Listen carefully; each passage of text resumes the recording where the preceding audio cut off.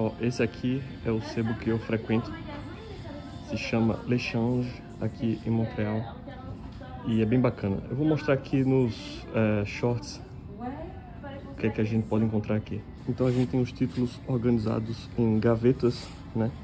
Então tem uns três gavetas do Quebec com títulos locais, né?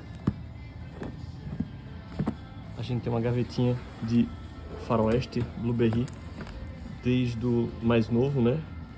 Até aqueles feitos originalmente pelo Jean Giraud e pelo Charlier.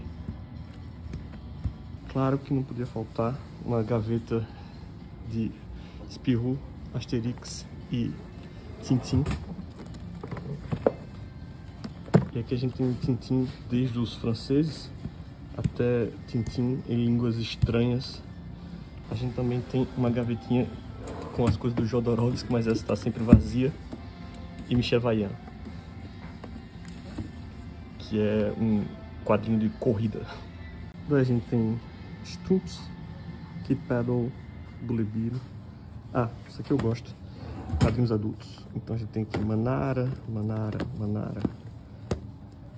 Ah, eu esqueci de dizer que tem bastante coisa interessante aqui em cima também.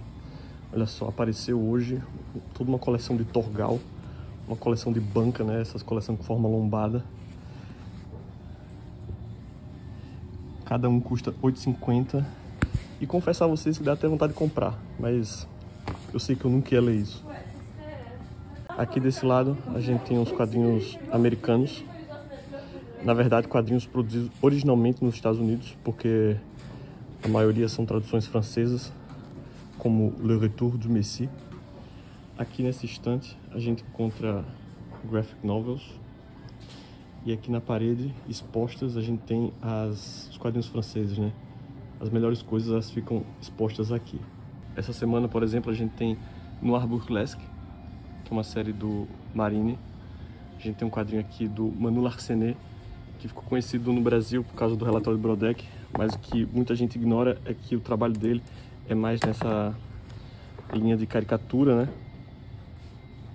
A gente tem aqui o Chester Brown com a versão francesa de Pagando por Sexo. Aqui a gente tem bastante graphic novel. Muitas bacanas aqui. A gente tem o Death Back Death aqui. A gente tem o último do Box Brown, Child Star. Onde ele conta a história de um... Aqueles, aquelas crianças ator que é super famosa e que fica geralmente problemática. Aqui embaixo é a minha parte favorita. Tem Hugo Pratt, tem Loisel, tem Anki Bilal, tem Bourgeon, muita coisa boa. E como sempre, encontrou uma coisa bacana, né? Hoje foi o Gringos Loucos, que conta a história do Francan, do Gigi e do Maurice, quando eles vão para os Estados Unidos na década de 30.